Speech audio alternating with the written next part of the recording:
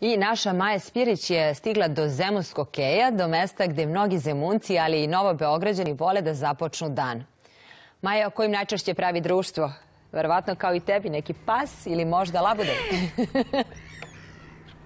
Jeste, jeste. I labudovi, ali i zaista e, prelepi psi koji se mogu sresti ovde e, na Zemunskom e, keju. Moj drugar ovoga jutra je mali haski Balto, pokušava da me ugriza, ja pokušavam da ga prevarim da nam ostane u kadru. Izuzetno ga privlače labudovi i kaže Milica koja ga dovodi svakoga jutra ovde da i po dva sata ume da sedi na, na obali i da gleda labudove. Reci mi, svako jutro ste ovde? Skoro svako jutro krenemo odavde, pa kad dole, čak i kad nema labudova, on dođe blizu vode i gleda ptice kako se kreću i on tako sedi jedno vreme. A kad vidi labudove, hoće da im priđe. Onda tu nastaje mali sukob zato što labudovi sikću na njega, on na njih laje i tako. ono što moram da te pitam, videla sam i ovde vrlo često e, vlasnici kućnih ljubimaca, e, naročito pasa ovde, ovde oni se nekako tu igraju zajedno sa labudovima, to je nekako kolektivna zabava. Pa jeste, očigledno se sporazumeju.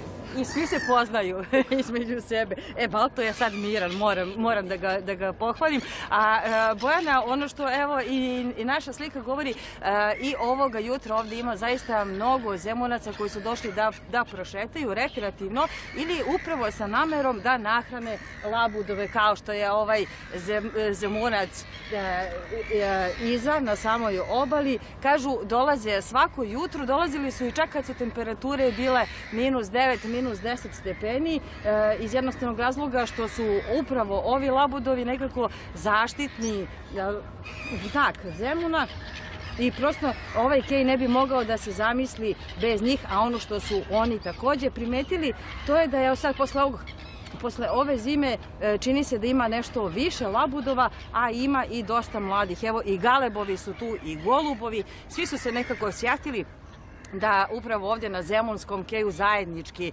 počnu dan. Kao što se Balto igrao sa svojim drugarima, tako smo videli da se i galebovi i e, golubovi i ovi labudovi igraju zajedno i zajedno nekako dele hranu koju im Zemunci donose. E, još uvek je u glavnom gradu 8 stepeni, rekoše bit će uskoro i 15.